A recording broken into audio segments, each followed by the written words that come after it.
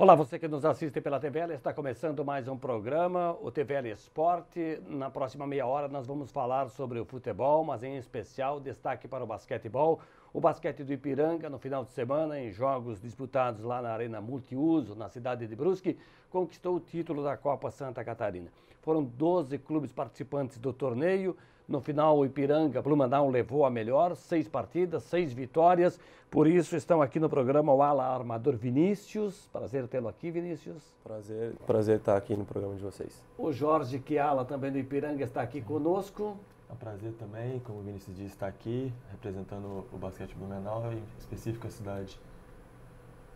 Bom, e veio junto a tua herdeira, né, Vinícius? Veio, veio. Trouxe hoje a pequena aqui para para ficar um pouco com o pai, né, filha? Que no final de semana teve um monte de jogos aí. Então, Então. trouxe para ficar um pouco Vamos com ver se ela aguenta aí conosco. Sim. Então, Vinícius, você é blumenauense, né? Sim, sou nascido aqui, já tive passagens em clubes de fora, mas retornando aí à cidade desde a metade do ano passado. Muito feliz por conquistar mais um título pela cidade. E você foi o destaque da competição. Sim, é, a gente conseguiu fazer bons jogos nesse, nesse período de, de um mês de competição, que teve a primeira fase aqui, e depois a segunda agora em Brusque. E a parte individual ela vem muito do coletivo. É, agradeci ontem os companheiros e, e hoje a gente continua agradecendo agora também pela televisão, porque eles são grande parte disso. Bom, o, o Jorge, você é mineiro, né? Mineiro, cara. Mineiro de onde? Cara, eu sou bem do interior, sou de Cataguases. ah, cidadezinha bem pequena, eu saí de lá pouco tarde, né? Comecei a jogar basquete tarde, mas sempre que posso eu volto pra lá. O pessoal sempre pode que, que consegue acompanhar a gente. Eu cheguei em Blumenau ano passado, mas eu já morava um ano aqui. Eu joguei em Joaçaba, que é lá no oeste, então meio que tô um pouco acostumado com esse clima aqui de Santa Catarina já. É, Vinícius, além da, Florença, que é o nome da menina, né? Quantos anos ela tem? Ela tem um ano e dois meses. Um ano e dois meses. Isso. E, e você está aí com o troféu destaque, né? Porque Sim. você, como dissemos, foi o destaque dessa, desse torneio. É, esse aqui é o primeiro que eu consegui dar para ela, né, filha? Que é, é muito importante, é um orgulho muito grande para mim. E, e manter, manter esse, esse trajeto, essa trajetória na minha carreira com essa continuidade é, é bem interessante. Bom, então o resultado importante, esse troféu também, e é toda uma remodelação que a equipe passa, né, depois eh, de, de- de alguns resultados adversos na liga, né, a necessidade dessa, dessa reforma dentro do, do elenco, sobrou o pessoal, muita gente da base, o teu caso, que você teve outras passagens né, por fora, mas teve um trabalho né, lá com o Cristianão desde o começo. É, o, o Harry, né, que a gente chama, que é o apelido dele, o Christian é meu técnico desde, as, desde os 12 anos de idade. É, esse trabalho de base que, que é feito na cidade de Blumenau é, é muito importante e, e é um dos melhores trabalhos que tem em Santa Catarina. Não só eu, assim como outros jogadores que foram criados aqui tiveram a oportunidade de seguir carreira fora de, fora de Santa Catarina, a nível nacional, a nível de seleção brasileira. Então isso isso é muito gratificante pra gente que agora é espelhos pro, espelho para os meninos que estão lá na, na APAB e na Associação de Pais. É, e o Christian já trabalha com a base, né? O Sub-16, 17, tem uma, uma, uma série de, de, de, de meninos aí que nas mais diversas categorias ele vem trabalhando. Então isso também. E como você disse, vocês acabam sendo espelho para essa garotada. É, hoje em dia tem até a categoria sub-10 e, e então a gente tem um projeto de conversar com os meninos, de estar de, de tá ativo assistindo os jogos dos meninos, porque eles se espelham muito na gente. E se eles têm a vontade de um dia ser profissionais como hoje a gente é, é vai ser um orgulho muito, muito grande poder jogar com eles daqui para frente, poder jogar também contra eles. A gente nunca sabe como pode ser. Exato. mas quanto, quanto mais profissionais saírem desse projeto, para a gente melhor. O, o, Jorge, como é que é a relação de vocês? Porque você também é jovem, qual é a tua idade? Cara, eu tô com 24 agora. Pois é. É o mais novo do adulto, assim. Então, então você tem uma relação mais próxima dessa gurizada, né? Tenho, eu sou um cara que comecei tarde no basquete, então eu não tive essa oportunidade de fazer a base igual eles têm. Então, algumas coisas que eu tô passando agora, eu tento passar para eles, para eles não cometerem os mesmos erros que eu. Então eu tento estar o mais próximo possível deles para tentar até auxiliar nessa caminhada, porque é um pouco difícil, é complicado. Ser jogador de basquete aqui no Brasil é uma coisa pesada, mas assim, igual o Vinícius falou, a gente é um espelho para eles. Então a gente ter, passar uma, uma, uma, imagem boa de, de como é ser um, um jogador adulto para eles já facilita eles nessa caminhada. Então sempre quando tem jogos, eventos da base, coisas do tipo, a gente tenta estar tá próximo deles para ter um bom relacionamento, porque ao mesmo tempo que eles precisam da gente, a gente também precisa deles, porque pra gente é uma inspiração a gente ir para jogos, sair de um jogo, saber que tem um monte de criança que foi assistir você, que está te aplaudindo, que está te elogiando. Então, isso é uma coisa boa, sabe? É, e vai um pouco mais longe, né, Vinícius? Você que é pai, né? sabe como é que é essa garotada, os pais acompanham né, todo o envolvimento, o treino, a participação, os jogos do, do, adulto também, tem uma relação familiar o basquete de Blumenau, seja com vocês lá no masculino ou lá com a turma do Camargo no feminino. Sim, é, a Associação de Pais, ela é muito ativa, e eu falo por experiência própria, meus pais me acompanham desde quando eu comecei com basquete com os 10 anos de idade, é, estavam lá de novo esse final de semana, eles, quando podem, estão sempre acompanhando, quando eu jogava fora também. E, e hoje em dia a gente vê de novo é, isso voltando, isso retornando, os pais fazendo parte, os pais fazendo eventos para angariar fundos e, e, levar as crianças a jogar outros campeonatos, outras experiências de, de campeonatos a nível sul-brasileiro, e isso é muito importante. Então, a gente sempre fica pronto para ajudar, porque os pais, quando precisam, sempre ajudam a gente. Então a gente está sempre aí. E é uma responsabilidade, é mais um compromisso de, de, de vocês em quadro, principalmente você que é blumenauense, de ter os familiares ali junto. Aumenta a responsa? Ah, é um pouquinho assim, um ela aumenta, mas como, como eu comentei, por causa da minha filha ali, levar um, um troféu desse para casa, levar uma medalha e poder dar esse presente para ela, é, é, muito gratificante. Então, ao mesmo tempo que a responsabilidade aumenta, o orgulho é muito grande. Sim, mas como é que motivação é, a mais para poder. Eu jogar. ia dizer, mas, mas existe uma cobrança dos pais, assim, porque vocês são jovens, assim, de, sabe, daquela de, da dedicação, da responsabilidade. Como é que é o acompanhamento da, da família de vocês em relação à, à prática esportiva? Porque tem que ter muita disciplina para você ser um bom atleta. Não basta só o talento, né? Sim. É, como eu falei, meus pais acompanharam desde, desde, desde muito cedo. Então, sempre tiveram conversas em casa. Quando eu tive a oportunidade de jogar, no, jogar num clube em São Paulo, eu tinha 16 anos, então foi, foi muito importante a conversa, é, ter a confiança neles e eles a confiança em mim de, de poder liberar né, para ir para lá. Então, acho que a conversa é muito mais importante que a cobrança, que, que a pressão. Então, tudo na base da conversa funciona muito melhor. Não há dúvida. E como é que foi, eh, Jorge, essa conquista agora? O, o, grupo bastante unido? Como é que foi a comemoração? Inclusive, eh, enquanto acompanhamos aqui a tua fala, nós temos uma, uma imagem aqui, a foto de vocês levantando o troféu, fazendo a festa lá. Nós vamos mostrar aí essa, essa, essa foto do Sidney Batista. Então, foi para a gente um momento muito marcante nesse segundo semestre. Porque, como você falou, nosso primeiro semestre não foi aquilo que a gente desejava. Então, a gente precisava de um começo para motivar todo mundo. Então, esse time agora, esse grupo, todo mundo, a, a comissão de paz, todo mundo é muito unido. Então, conseguir levantar esse título para a gente foi é, essencial. Foi uma coisa que todo mundo precisava, sabe? Para poder falar, é rapaziada, a gente merece por tudo que a gente passou e e agora a gente tem tudo para ser melhor. Então, a gente ser, sair campeão jogando fora de casa, uh, digamos que só os 12 que estavam em quadra e o técnico, cara, acho que não tinha uma coisa melhor, uma data melhor para acontecer, sabe? Pois é, o, o Vinícius, 66, 63, diferença de três pontos com o Brusque, que já tem se constituído ultimamente, assim como o Joinville ao longo da história, grandes adversários de Blumenau, né? Com certeza, são as rivalidades nossas no estado, é, são Brusque e Joinville. É, Joinville vem de, de dois anos aí jogando liga, então com um time, com um time forte. É, nos últimos dois estaduais a gente conseguiu bater eles na final, então somos bicampeões do estado. E contra Brusque é uma rivalidade que tem em todo o esporte. É, eu, eu que acompanho o futebol da cidade desde criança, eu sei que contra Brusque são jogos difíceis. E no basquete não deixa de ser diferente. Ontem foi um jogo muito complicado, um jogo que, por a gente estar jogando só com seis adultos, é, somos em sete adultos. Um, um, o Vinícius o outro Vinícius, ele infelizmente teve uma lesão e não estava conseguindo participar dos jogos. Então a gente estava em seis, a nossa rotação estava muito difícil.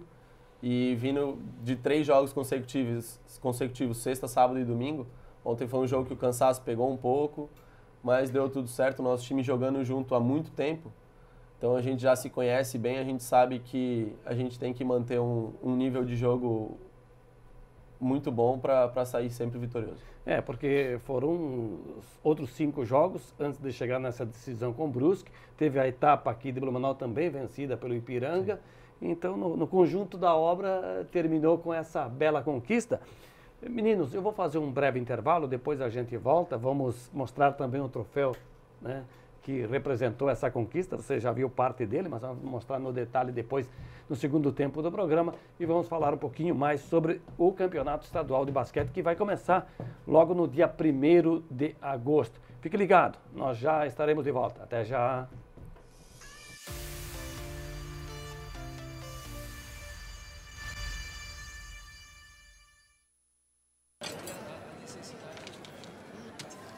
Hoje pode deixar que a conta é minha. Tá, mas você não vai dar nenhuma conferida? A Câmara de Vereadores de Blumenau tem um compromisso com a cidadania e sabe da importância de parar e conferir suas contas. No portal da Transparência, a Câmara disponibiliza informações sobre a gestão de seus recursos para a comunidade. É isso aí. Você tem toda a razão. Exerça sua cidadania. Fiscalize Câmara de Vereadores. Independência e transparência cada vez mais perto de você. Agora, todo dia, a uma da tarde, tem programa inédito na TVL. No domingo você assiste o Fala Vereador. Segunda-feira tem TVL Esporte. Terça é dia de TVL Comunidade. Quarta-feira acompanhe o Nossa Gente. Quinta tem TVL Cultura. Sexta-feira Justiça Legal. E sábado é dia do resumo da semana. Fique ligado na TVL, agora com programas inéditos todo dia, a uma da tarde, e com reprises durante a semana. Programação completa no site da Câmara. TVL. Informação e prestação de serviço para você, blumenauense.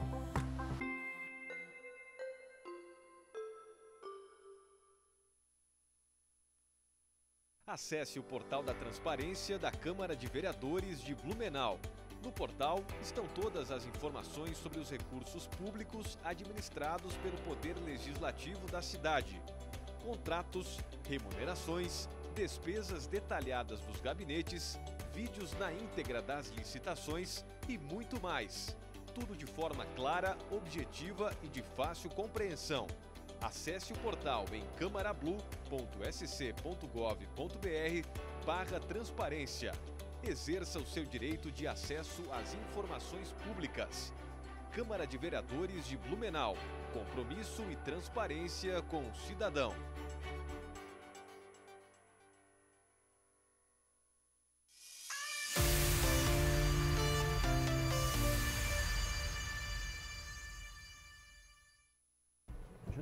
Estamos de volta na sequência do TVL Esporte. Hoje os meus convidados aqui, o Vinícius, ala armador do Ipiranga de Blumenau e também o Jorge, que é ala do Ipiranga, a equipe blumenauense conquistou no final de semana em Brusque a Copa Santa Catarina de Basquetebol. Bom, agora, devidamente eh, com os acessórios que correspondem aos títulos, né? Está aqui o troféu e as devidas medalhas. Falo contigo, Jorge, sobre a importância desse, desse troféu aí para a Galeria do Ipiranga. Cara, desde que eu cheguei aqui já é o terceiro troféu em dois anos, então eu creio que para a molecada que está vindo, da base, ver o adulto conquistando isso daqui é uma motivação para eles. Porque a gente convive com ele todos os dias no ginásio, treinando. Então eles veem que é uma coisa boa, sabe? E pra gente é melhor ainda, porque quem não gosta de ter um título na carreira, né? E ver um título nesse momento, eu acho que é uma coisa muito gratificante, não só para mim, mas para todo o elenco do time de Blumenau. É, particularmente, isso aí é, é muito importante para cada um de vocês, né? E para, a gente falou, o pessoal da base também, para todo o trabalho que se faz. Vinícius, e essa, essa medalha aí? Essa medalha, ela retrata muita coisa. É, há um ano e meio atrás, eu estava voltando de uma lesão séria que eu tive no joelho. Ela ainda estava na barriga e então foi um período complicado e agora poder terminar o ano como a gente terminou, sendo campeão estadual, tendo um outro título agora, é, tendo a possibilidade de ser o destaque do campeonato, é muito importante. Me dá um gás a mais para continuar a carreira e, e a felicidade está aqui. Hum. Agora imagina como é que uma criança dessa não vai se apegar ao esporte, né? É, ela tem, tem tudo para isso. Ela é, como dá para ver, bem ativa. Então, a gente tem bola em casa, a gente fica brincando um monte. É, espero colocá-la nesse meio do esporte porque vivendo isso a gente sabe que é importante para todas as crianças, para a sociedade no geral. Vai jogar basquete, será? Vai puxar o pai? Aí a gente vai deixar ela escolher. A gente tá, ela vive numa quadra de basquete, mas pois é. agora o que ela quiser, é ela que vai escolher. Eu percebo aqui, Vinícius, que o, o Jorge tem essa relação muito próxima também com a Florença, que é o nome da, da menina. E o grupo, assim, tem ela como. Eu vou dizer, é o mascote, né? Porque é uma criancinha envolvida ali. É, tem ela e tem o Rubinho também, que é o filho do, do Andrezão, uhum. que é o nosso pivô. Ele tem quatro anos, então ele já interage muito mais. Então, tem os filhos do Bruno também, são três, que né? são, são três. Então a gente tem aí, digamos que uma, uma creche do time, que quando se junta, o pessoal, todo mundo gosta de todo mundo. Como, como o Jorge falou, a gente é muito unido. Então essa parte das crianças também ajuda bastante. A gente acompanha os jogos do futebol, por exemplo, e é comum ver os, os jogadores dos grandes clubes entrarem em campo com, com, os filhos, com as crianças. Vocês fazem isso também?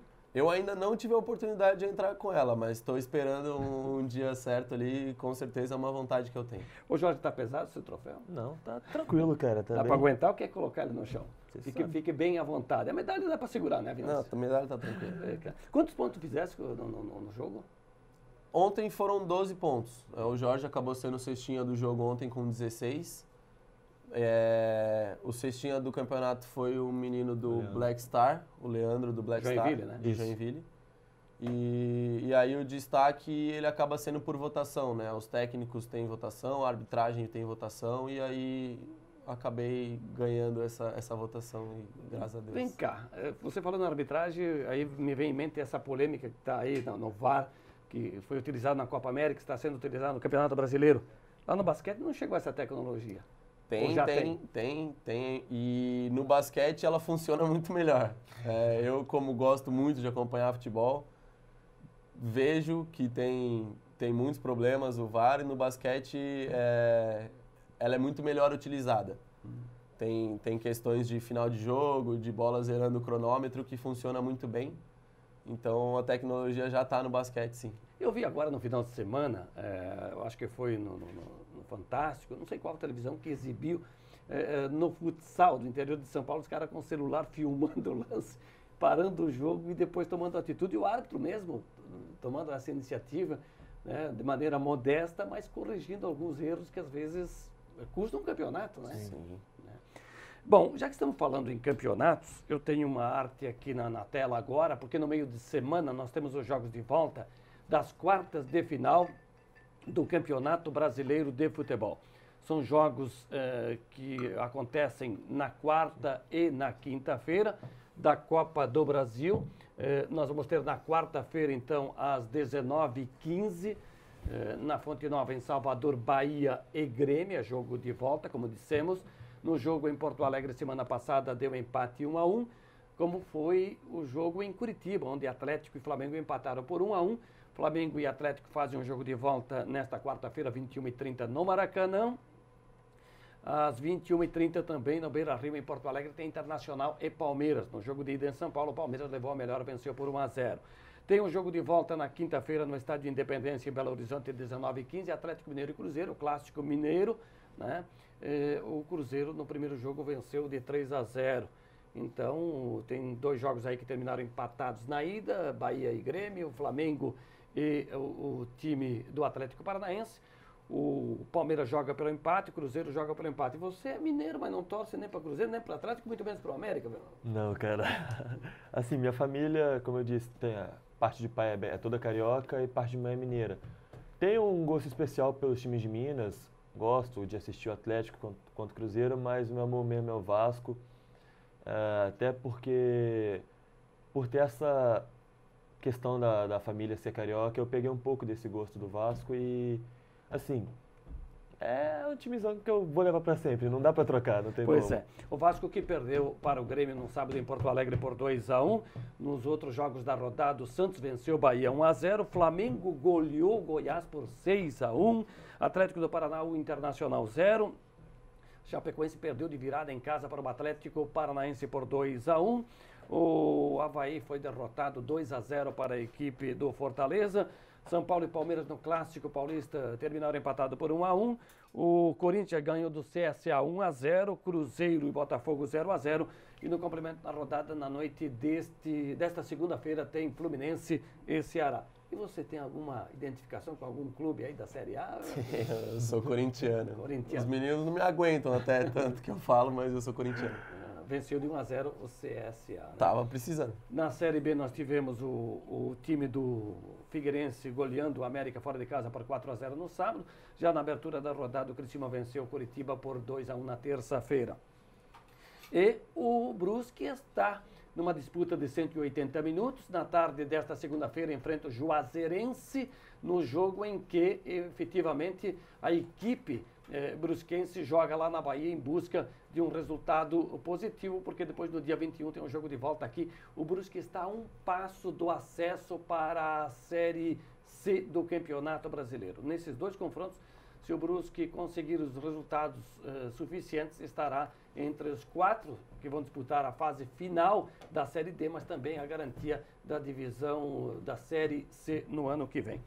Bom, falar nesses minutos que nos restam aí no finalzinho do programa do campeonato estadual, né? Já começa no dia 1 de agosto, o Havaí, aqui mesmo no ginásio de Ipiranga. Sim. Então, igual o Vinícius falou no começo, a gente está vindo de um título estadual. A gente foi campeão invicto no passado, então a gente vai tentar manta- manter essa invencibilidade estadual esse ano. Não vai ser fácil. Os times têm reforçado bastante, o campeonato está ficando mais difícil, mas a gente está com o mesmo time, a mesma base do ano passado e vamos tentar começar bem, aproveitando a motivação desse título da Copa para poder começar com o pé direito esse estadual. Pois é, Vinícius, além do estadual, que como dissemos começa em agosto, ainda tem aquela fase regional para buscar uma vaga nos Jogos Abertos, né? Você sabe muito bem a importância que tem para Blumenau os Jogos Abertos. Isso é muito importante para a cidade, para o esporte do- da, da cidade no geral. É, como blumenauense, quando a gente tem a oportunidade de jogar um, os jogos abertos, é, é bem gratificante. Então agora é. E o Christian continua no time adulto, inclusive para o estadual e depois? Ou. Porque ele foi ali interinamente para a Copa Santa Catarina, né? ele É, é técnico da base. Sim. A gente espera que continue, que ele continue, porque igual o Vinícius já joga com ele há bastante tempo, tem esse, esse, esse carinho por ele. Eu que cheguei há pouco tempo também peguei um pouco dessa, desse carinho por ele. É um cara que a gente gosta de ter por perto, é um cara que entende bem a gente. Então, a gente gostaria que ele continuasse. Ele é um cara que tem feito bons trabalhos, tanto que foi o título da Copa. Então, pra gente seria. É, parece que o problema é conciliar a- base, né? Porque são várias Sim. equipes onde ele trabalha. Isso, é, eu não, não me recordo agora quantas equipes ele tem na base ali como técnico, mas. Mas ele tem o realmente apoio de vocês jogadores. Sim, Tem, com isso certeza. daí é o que ele pode ter certeza que tem, é um apoio nosso. Então, com a palavra, o Sérgio Carneiro. Aí a gente deixa para eles lá em cima. O presidente, né? É o presidente.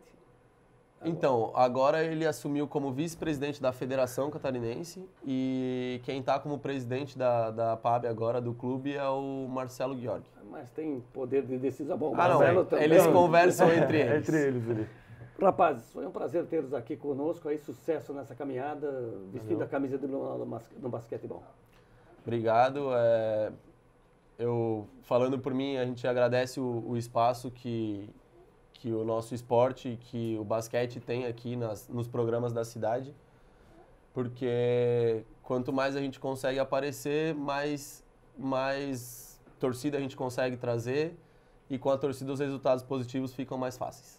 Exato. Eu agradeço também a oportunidade, porque é sempre bom a gente conseguir falar do esporte que a gente ama. Então, cada espaçozinho que a gente consegue para poder falar um pouco dele, é mais visibilidade que a gente ganha. Então, foi muito bom a gente ter vindo aqui, falar um pouco dessa conquista, do nosso, da nossa continuação e agradecer mais uma vez pela oportunidade. Jorge Iglesias, ala da equipe do Ipiranga de Blumenau, o Vinícius, que é ala armador, campeões pelo Ipiranga da Copa Santa Catarina de basquetebol adulto masculino. Para fechar o programa, eu quero dizer que eh, na sexta-feira, pela Liga Nacional, melhor, foi no sábado, pela Liga Nacional de Futsal, tivemos lá em Erechim o jogo onde a equipe do Atlântico venceu o time de Blumenau por 3 a 2. A equipe Blumenauense volta à quadra agora, na próxima sexta-feira, no ginásio do SESI, quando enfrenta o Patos Futsal. E assim, amigos e amigas, estamos concluindo mais uma edição do TVL Esporte. A todos um grande abraço e até a próxima.